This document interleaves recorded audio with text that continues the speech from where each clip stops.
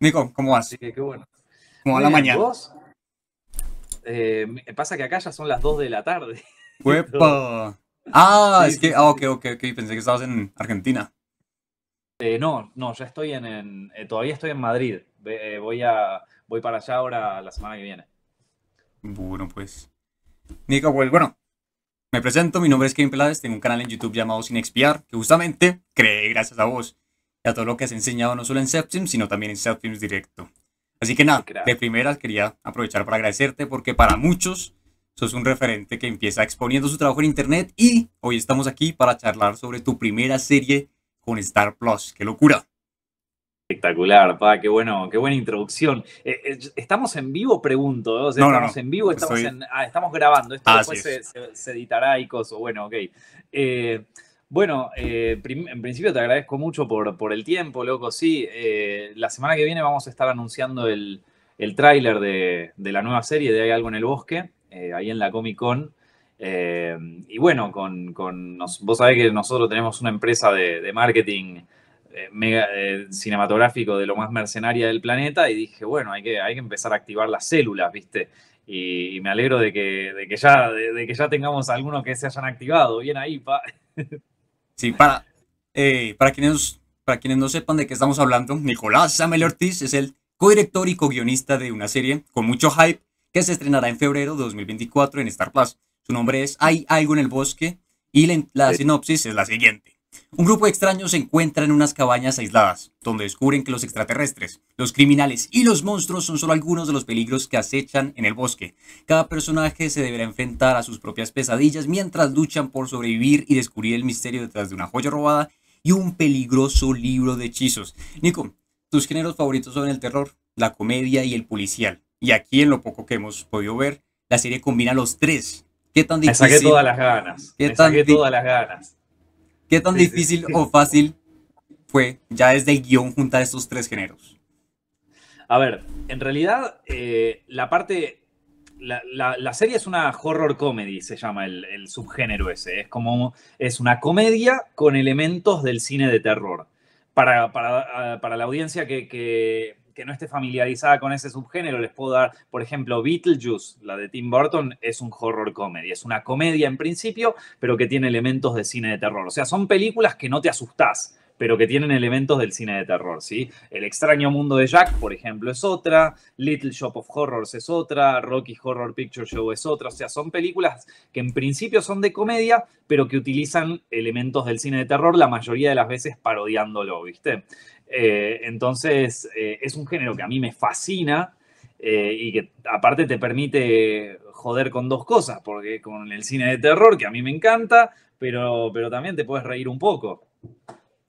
Y justamente aquí en, en esta parte me gustaría que te extiendas lo más que quieras. Y es que yo soy de los que piensan que la comedia es de los géneros más difíciles de hacer, porque pues al fin y al cabo el terror, el drama, la tragedia siguen casi siempre los mismos patrones. Mientras que la comedia varía mucho, varía mucho de país, varía mucho de, de edad, de persona, de época. Eh, Sí. ¿Qué piensas de esto y sobre todo cómo fue trabajar con la comedia en esta serie? Además que es tu primera vez dirigiendo comedia, ¿no? Lo es, definitivamente lo es. Eh, es, es el género más difícil y, y justamente es algo que veníamos hablando durante el desarrollo de la serie, cuando recién empezamos, que, que claro, a cada uno le gustan distintos tipos de comedia. Hay gente que le gusta la comedia más absurda, hay gente que le gusta la comedia más eh, light, por decirlo de alguna manera, de decirlo de alguna manera. Hay gente que le gusta la comedia más, más turbia, ¿viste? O sea, hay de todo, ¿viste? Hay gente que le gusta Braindead de, de, este, de mm, Peter Jackson y hay gente que le gusta eh, los- los chistes de las pelis de Marvel, ¿viste? Entonces eh, el humor tiene un espectro enorme de, de cosas que nos hacen reír y de cosas que no, nos dan vergüenza ajena a veces, ¿viste? Y, y uno de los desafíos más grandes fue, bueno, ¿desde dónde vamos a encarar la comedia en esta serie? Y, y en principio, eh, tanto Gastón, que es el co-creador de la serie, como yo, estábamos, eh, a él le gusta más el tipo de comedia más bien absurda, y a mí me gusta más el tipo de comedia más clásica, ¿viste? Y entonces como que bueno, estuvimos tratando de ver cómo fusionábamos las dos ideas y, justamente esa búsqueda de fusión de ideas nos llevó un poco a explorar también otro tipo de comedias, ¿viste? Eh, algunas cosas que, ¿viste? Hay gente que, eh, hay, hay, géneros que, sobre todo dentro del cine de terror, por ejemplo, existe el, el gore, ¿no? Sé si lo conocía, que es como el, el, el gorefest, ¿viste? Donde todo sangre, donde tanta sangre hay que ya es, ya es gracioso, ¿viste? Estaba Dashiell, eh, ¿cómo era que se llamaba tipo este de la, el que hacía la... em, la peli esta eh, Freakfest o no me acuerdo, o una cosa así. Eh, bueno, nada, un director que básicamente sus películas eran tipo que salga toda la sangre que pueda y, la gente se cagaba de risa, ¿viste? Y capaz que no es el humor con el que yo más conecto, pero digo, bueno, vamos a ver qué onda, vamos a ver qué pasa si nos metemos por acá. Y en ese sentido, yo creo que la productora Gloria Mundi Producciones, que es la, verdadera. Los verdaderos audaces en esta, en, este, odisea, eh, eh, Pablo Bossi, que es eh, para mí uno de los mejores productores que existen en la, Tierra, y, las productoras ejecutivas Marion Richardson y, Daniela Girod, la verdad que se la recontrajugaron en decir, bueno, dale, dale, vamos a, apostar, vamos, a ir, vamos a tirarnos al agua. y yo creo que, si bien obviamente eh, el humor es distinto para todos y hay cosas que nos van a gustar más y cosas que capaz nos van a gustar menos, yo creo que una de las grandes cosas positivas que tiene esta serie es que hay, hay un poco de todo. O sea, el humor se explora y no tenemos miedo en explorarlo. Hay cosas que hasta yo digo, che, ¿cómo nos dejaron hacer esto? Pero eh, en ese sentido yo creo que incluso si, si alguien no conecta con ese humor, eh, de alguno de los capítulos, creo que se va a apreciar el, eh, el, haber tomado esos riesgos, ¿viste? Sí, y eso también es lo bueno del el formato de la serie, es que como se dividen, esta serie tiene ocho capítulos, ¿sí? Entonces, yo creo que eso es lo bueno del formato de las series, ¿no? Como se dividen por capítulos, hay oportunidad para, para aprovechar distintos enfoques en cada capítulo. ¿Hacen esto en Hay algo en el bosque? Eh, sí, a ver, si bien eh, hay una línea argumental principal que une todo, que, une todo, que es la, historia alrededor de estas cabañas, de la que tampoco quiero hablar demasiado porque tampoco le quiero contar toda la trama, pero bueno, eh, digo, todo transcurre en el mismo lugar y qué sé yo, cada capítulo también explora distintos universos, porque son, como dice la, sinopsis ahí, son distintos inquilinos que van llegando, cada uno con sus propias preocupaciones y con su propia historia de fondo. Y, sí, eh, justamente el, hecho de trabajar con distintos personajes eh, nos permitió también explorar distintas facetas, ¿viste? Bueno, pues qué bien. Eh, entendemos que hasta febrero del año que viene, hasta que nos estrene la serie, no estás autorizado para revelar mucha información. Pero hagamos una dinámica para poder hacernos una idea de lo que veremos en Hay algo en el bosque. Por ejemplo, yo empiezo. Si, una peli si la película El acto en cuestión tuviera un hijo con la película 8 y medio de Fellini, el hijo sería Jockey Nueva York de Charlie Kaufman. ¿Sí? En este orden de ideas. A ver, a ver, para, para, para. Le estás pidiendo mucho. Si ya me vas a citar esos ejemplos, digo. no, no, no, no, no, no, no, no. chill para comer estoy, una pizza. Digo, no estábamos. Yo, por lo menos yo, no, tenía en mi mente emular a Federico Fellini, ¿eh? No, no, no. tú me metiste aquí. No, no, te la estoy devolviendo. Tú me metiste aquí unas cosas de humor gore y cosas que yo entendía. Yo solo hacía sí, sí, sí, sí. Entonces te la estoy, te la estoy devolviendo.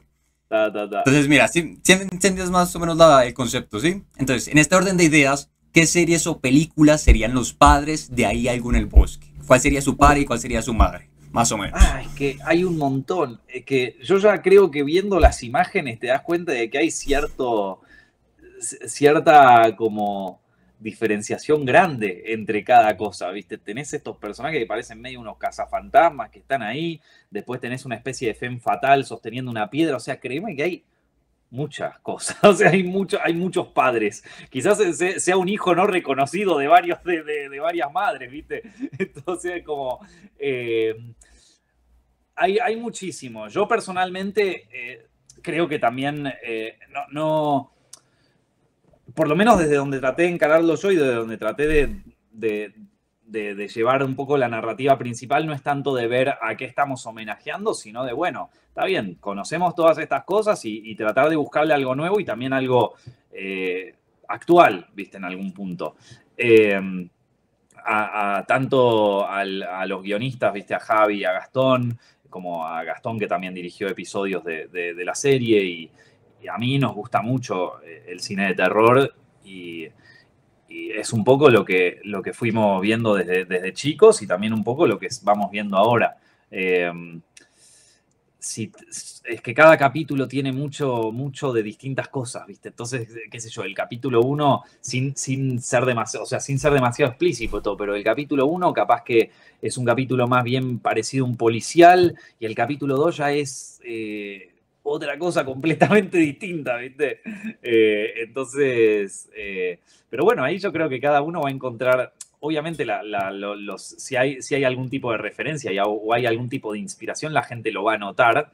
Eh, pero creo que, hay, que, cada uno va a encontrar, yo, por eso también tengo muchas ganas de que salga, porque creo que cada uno va a encontrar en, un capítulo donde más se siente identificado, ¿viste? Y, me, interesa mucho saber, por ejemplo, cuando la veas vos, cuál va a ser tu episodio preferido, ponele.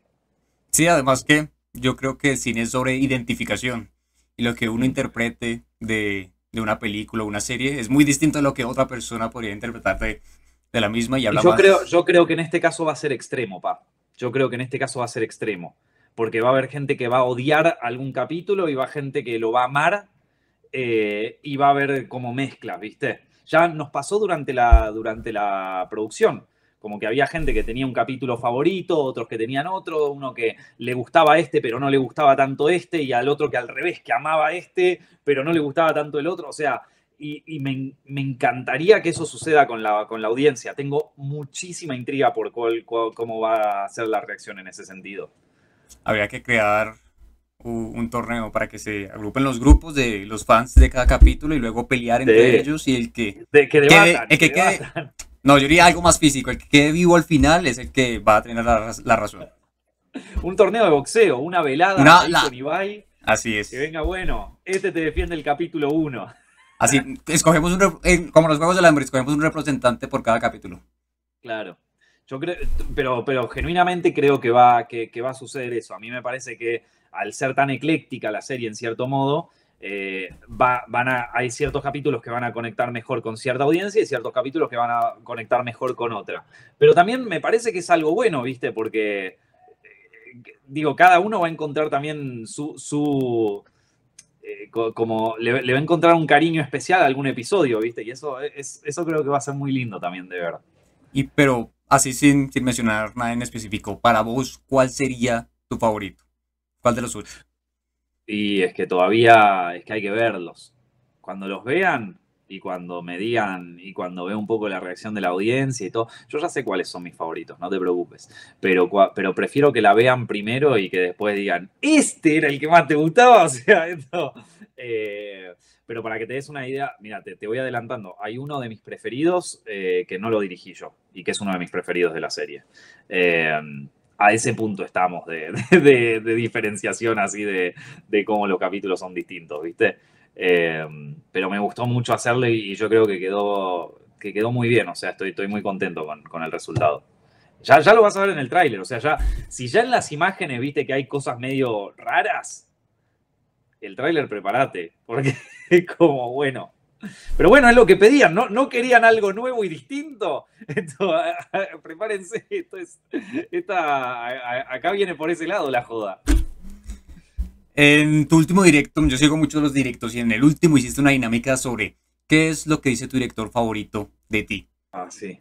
¿Qué diría, ¿Qué diría de una persona que su serie favorita sea Hay algo en el bosque? Uh, amigo, estás re mal. no, eh, a ver, es una muy buena pregunta porque, porque me, obliga un poco a, revelar algunas cosas de, la esencia de la serie, por así. Yo te diría que una persona que, es fan de, Hay algo en el bosque, por lo menos a, quien yo me imagino, yo me imagino que es una, una persona muy chill, muy tranqui, eh, medio parecido al Dude Lebowski, ¿viste? Un, personaje así. Eh, un, un, sommelier de pizzas, o sea, un chabón que, que, le gusta mucho la pizza y que sabe elegir buenas pizzerías, eh, pide mucho delivery, o sea que las come mucho en casa. Eh, si es una piba también le, encanta, le gusta mucho la pizza, o sea, eh, es como la, pizza está ahí en, como una de las necesidades importantes y también algún tipo de, algún tipo de, de sustancias. Eh, esto no, digo más porque, porque YouTube capaz te, lo desmonetiza y no queremos eso, pero, pero bueno, me, lo imagino así, gente muy chill, muy buena onda, con la que no, a la que no le puedes confiar, no les puedes pedir un favor muy grande porque no son precisamente la gente más responsable, son como, eh, che, loco, mira, te pedí que me hiciera la compra del supermercado. Uh, loco, sabes que colgué porque estaba, estaba andando esto en la T. Uh, es que vos me entendés, viste, ya sabes, como, o sea, es medio así este personaje, medio así, viste. Eh, y, las, eh, y, las chicas son, me, las imagino como unas novias muy, muy divertidas, viste, unas, unas, pibas muy, muy chill, viste, que no, no, no te vuelven loco y que, que son, eh, y que son muy copadas, o sea, como muy, muy amigables. ¿Viste? Todos tenemos alguna amiga que es, que es como la copada del grupo, ¿viste? La que, uh, esta, se va a copar, ¿viste? La que te Tenés que ir a un recital de una banda que no conoce nadie y que solo la conocés vos y que decís, uy, ¿a quién llamo? Uh, la llamo a, la piba, hay algo en el bosque. Y, ahí ella viene, ella te hace el aguante. ¿Qué signos serían ella y él? ¿Eh? ¿Qué signos serían? qué signos serían. Eh, te voy a decir el signo que somos Gastón y yo. Esto, eh, la, piba sería de Aries, como yo, y, el pibe sería de Virgo, como Gastón. Ahí paré. Todo. Nico, por allá en 2019, en lo que era el lado de cine en YouTube, innovaste con series muy bien producidas, pero que se estrenaron directamente en Internet, como son La historia del cine y Hollywood al desnudo. ¿Cómo te ayudaron estas series un poco más pequeñas en tu trabajo en Hay algo en el bosque? A ver, em, a mí todo el trabajo que hice en YouTube, eh, llegó un momento en mi carrera en donde yo me lo empecé a tomar como, bueno, como si fuera que estuviéramos haciendo, como decís vos, una serie, pero bueno, que va a una plataforma que es más chica, pero tenemos un equipo de guion, un equipo de producción, un equipo de, de edición, de postproducción, y lo vamos a encargar como si fuera una mini peli que estamos haciendo, una mini serie de televisión. Y yo creo que eso ahí también le da, le da a lo que vos sea que esté produciendo un, valor agregado, ¿viste? Como dirían, un valor de producción. Eh, em, y, cómo ayudaron? Eh, bueno, a ver, eh, historia del cine, si bien los guiones los escribe Mati Horta, siempre está, o sea, vos imaginate que tenés que condensar 100 años de historia en un video de 15 minutos a veces es muy difícil. O sea, de repente nos llegan un montón de, autores, de obras, de cosas y tenemos que decir, bueno, hay que, hay que condensar, ¿viste? Hay que, hay que sacar algunos, dejar a otros. Y eso es un trabajo de, de, um, elección y de curaduría que, parece una boludez, pero no es fácil esto. Eh, y, muchas veces, lo podés notar en los comentarios, muchas veces hasta te confundís, ¿viste? Porque pensás que tal autor eh, representa mejor una movida cinematográfica o algo, y en los comentarios te hacen ver que no, hermano, era este, no nombraste a este, viste, que es el más importante. y entonces, como bueno, llevó un esfuerzo de curaduría importante. ¿Cómo, cómo afectó eso en, Hay algo en el bosque? Yo creo que eh, a, mí me, a mí me ayudó mucho, pero, pero más desde el lado de condensar cosas, ¿viste? de, una cosa que uno aprende es eh, sobre todo cuando haces videos para internet, es ante la duda, corta, ¿viste? O sea, si vos ves que algo no estás muy seguro, cortalo, ya está, no sirve. Esto, eh, y que es muy jodido, porque vos pensás que cada plano que haces en una película cuesta una fortuna, eh, y también viene con el cariño interno que uno le tiene. entonces, me, quedé muy, o sea, me queda mucho eso de mi experiencia como creador de contenido para Internet, ¿viste? Que, en algún punto lo llevo a la narrativa cuando escribo y lo llevo también al cine, pero también lo hacía cuando hacía los cortos, ¿eh? Con Virgen también fue así, ¿viste? Eh, pasa que, bueno, acá ya tenés un equipo más grande, no sos el único que escribe, ¿viste? Entonces, bueno. Eh, y, pero si yo te tengo que decir, porque hay un capítulo que ya casi, casi te diría que está inspirado en el éxito de un video de, de, de no de Zepfilms ni siquiera, de, mi canal personal, que es Nicolás Amelio Ortiz, que es, eh, yo tenía unos story times que hacía contando anécdotas sobre mi, sobre mi vida, y hay un episodio que si bien no es exactamente la misma anécdota, tiene ciertos paralelismos con esa anécdota. Y yo creo que los que conocen esa anécdota, que fue muy viral en su momento, eh, van a saber al toque a cuál me refiero. Entonces, eh, y, el guion, su génesis fue a partir de esa anécdota. Y bueno, obviamente después lo, lo, traspolea a, lo que era la narrativa de esta, de, esta serie. Ya lo van a ver. O sea, los que conocen el, canal, los que conocen las anécdotas, los que me siguen de hace mucho tiempo, eh, que serán tres o cuatro que miren este video, lo, lo, van a reconocer ahí. Se van a dar cuenta cuál es. Con este ya serían siete producciones en tu carrera, ¿sí? Y en todo este camino, hacen justamente que va con lo que decías, en todo este camino has encontrado algo en ti que salió a la luz gracias por esto. Por ejemplo, en Hitchcock tenemos su fijación por las rubias y los padres ausentes. De Martin Scorsese tenemos el catolicismo. De Wes Anderson las figuras paternas y el estilo viñeta. ¿Qué patrones has encontrado en tu trabajo? Mira, eh, en principio te agradezco un montón por ponerme al lado de semejantes titanes. O sea, esto yo no me, lo, no me merezco ni cerca. En todo caso, te tendría que decir, bueno, esto eh, a, este, o sea, eh, pero, pero está bien, pero, o sea, ya en principio te lo agradezco una banda eso. Es, como, para mí es quizás uno de los honores más grandes que tuve en esta última semana, ¿eh? Y mira que me gané un premio la semana pasada y di una charla en una universidad. Así que hasta, eh, hasta ahora uno de los honores más grandes que, que he recibido. Em, te agradezco enormemente. Ahora, es cierto, eh, y esto lo aprendí, me lo enseñó Marcelo y Marco, que, fue mi maestro de escritura en su momento, es cierto que uno tiene que escribir lo que vive. O sea, las, las experiencias personales son las más genuinas y las que más sirven para conectar con el espectador, porque al final lo, el objetivo final de una narrativa, sea cual sea, es evocar una emoción en el espectador, de la manera que sea, puede ser mejor filmada, peor filmada, pero el objetivo final es evocar una sensación en el espectador, ¿sí?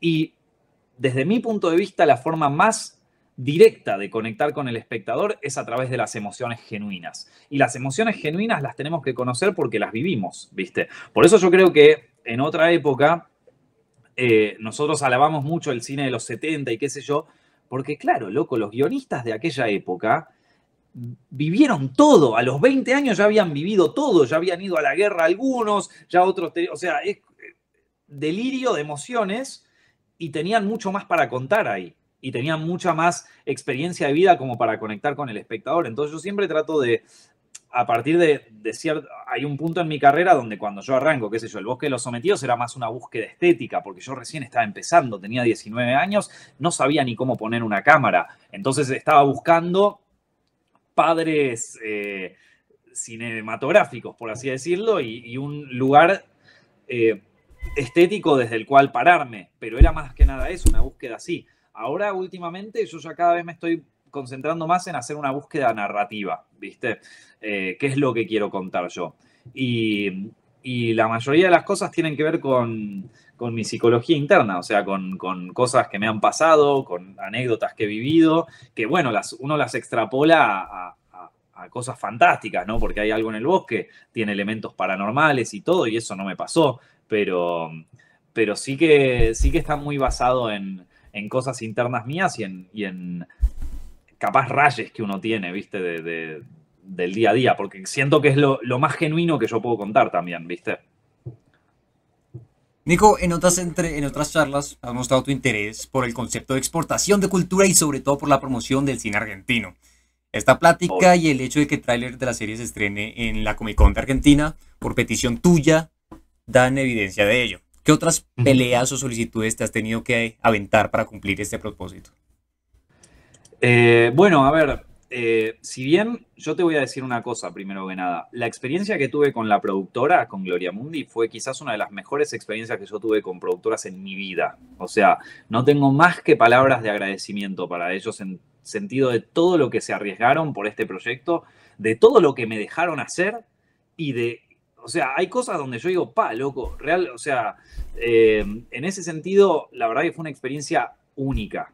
Eh, y mirá que yo ya he trabajado con productoras y todo, con clientes y, de todo, pero, pero esto fue lo mejor que me podría haber pasado. Dicho esto, eh, dicho esto, como en cualquier trabajo en equipo, cualquier persona que haya trabajado con más de una persona sabe que hay discusiones siempre, ¿viste? Ya sea discusiones creativas, discusiones eh, de índole económico y presupuestario, y a veces cosas que tienen que ver con, bueno, esto eh, es más difícil conseguir lo que vos buscás de lo que crees, ¿viste? Eh, entonces sí, obviamente hubo, hubo debates, hubo eh, cosas que pedí y que tuve que ceder. Me fui y volví a entrar. Ahí está, ahí estoy de nuevo. Porque de repente desapareciste, loco, perdón. La, brujería de algo en el bosque ya está haciendo sus efectos. Sus efectos. Se está aplicándose. no, te decía que como en cualquier, en cualquier producción eh, hay debates y hay cosas y, la verdad que aprendí muchísimo de cómo, porque claro, a veces uno, o sea, eh, es verdad que aprendí muchísimas cosas narrativas de cine, ¿viste? Pero una de las cosas que tiene de bueno empezar a hacer películas, ¿viste? Empezar a hacer películas o series, y esto también me ocurre desde, desde mi primer cortometraje, ¿viste? De que también te das cuenta un poco, empezás a aprender a trabajar en equipo y en, este proyecto en particular aprendí muchísimo de trabajar con eh, una productora, con una productora que además tiene una responsabilidad con una plataforma y, em, se convierte medio en un, también en una, en una estrategia también, ¿viste? A ver cómo, cómo podemos salirnos con la nuestra en algunas cosas, ceder en otras. Eh, que, que fue una, para mí fue una experiencia muy interesante en ese sentido también. Y por suerte la pude hacer con, Gloria Mundi, que ya te digo, para mí fue de los mejores descubrimientos a nivel productora. Le digo a la, a la gente, ojo cuando vengan a dar un proyecto, porque te puede tocar una, o sea, vos podés estar contento porque vendiste el proyecto, pero si te toca una productora con la que no conecta el proyecto o que no conecta con vos como director, pues te puede generar mucho más problemas que no haber vendido ningún proyecto. Entonces, ojo con la gente que te viene como si te compro el coso, porque sobre todo si querés mucho ese proyecto, eh, tenés que cuidarlo también. Y cuidarlo no solamente de, de, que no consigas la cámara para filmarlo como querías, sino también cuidarlo de algún productor que capaz que no, no va a conectar. En este caso, eh, así como ellos apostaron por mí eh, como director primerizo de algo tan grande, yo también siento que aposté un poco con, la productora y con, con mi proyecto y, creo que superó las expectativas, entonces estoy muy contento con eso. Bueno, pues ya veremos. Digo, para despedirnos, eh, para, que para quienes no sepan, Cuadrito PR es una agencia mercenaria y amarillista, y es, justamente lo, y es justamente la que se está encargando de la difusión de Hay algo en el bosque. Nico es la cabeza de la empresa y yo soy un accionista minoritario, por lo cual te pido, Nico, autorización para mi propuesta de miniatura. Uh, a ver. título pero para, no puede ser que no. esto es cuadrito PR, loco, un poco de corporativismo. Tenemos, ¿dónde, está el, ¿Dónde está el Excel? ¿Dónde está el PowerPoint? ¿Dónde está el, el teléfono ese negro que aparece en las salas de reuniones? No, no, no, me tendría que. ¿Has visto la película de The Amazing Hood Soccer? Algo así, de los Cohen. Sí, así, sí, no, no, me imaginaría. Así es, me imaginaría algo así, tendría que, que saltar ahorita por esta ventana. Pero mira, por ahora te veo la miniatura, ya vas a ver la miniatura. Es que es una sorpresa. Entonces, el título sería, la miniatura para. La miniatura tendría que ser así. Y mira, mira el título. A ver, a ver, a ver. Todo en mayúsculas, a ver qué te parece. Increíble. Film se encuera en entrevista de Hay algo en el bosque. Entre paréntesis, sale mal. La miniatura podría ser algo así como que. Y, Mira, y un poco de Mr. Beast por acá tengo un par de acotaciones. Me parece que la miniatura puede andar bien. Siento que el título eh, es muy 2018. Eh, yo trataría de hacer algo como, por ejemplo, eh, le hice una entrevista a, le hice una entrevista a director español y, la cagué como nunca. O sea, tipo la cosa más clickbait del planeta, porque aparte ni siquiera soy director español, pero bueno, suena mejor que director argentino, del primer mundo. Entonces, eh, sí, y así, ya que, ya que citabas a Mr. Beast, el, hice tal cosa. Y me regala 10 mil dólares, increíble. Ah, eso sí, para mí que tiene que ser. Y lo que eh, hice, hice una entrevista a un director y, y quedé, y quedé fascinado con lo que me dio. Y la miniatura es tipo tu cara así como. Y una mano dándote un montón de billetes, boludo. A ver, a ver, por la. Prepara la mano y yo edito los billetes. dale, prepara. No, no, no, la mano, la mano sale de la miniatura, o sea, sería tipo esto, ¿no? Dale, dale. Así, un montón de billetes que. Haz así la posición un segundo. Listo, pues. Bueno, Nico, muchas gracias por este espacio. Te Me deseo van a el me- requemar con esto, loco, que no Nada, nada, en no queme, ya no están, ya están acostumbradísimos. Está bien, Bueno. Bueno, Nico, muchas gracias por este espacio. Te deseo el mejor de los éxitos por acá, en No, Colombia. gracias a vos, loco. Estaremos pendientes del estreno. Te mandamos muchas buenas energías. Y espero charlar contigo en otra, en otra ocasión, a lo mejor ya cuando tengamos la serie estrenada y completa para disfrutar. Dale, querido. Bueno, ahí ya sabes, ya tienen todas las formas de, de contactarse con nosotros y, y nada, te agradezco mucho. La verdad que estuvo muy divertida la entrevista. Dale, muchas gracias a ti. Un abrazo. Chao, chao. Chao, chao.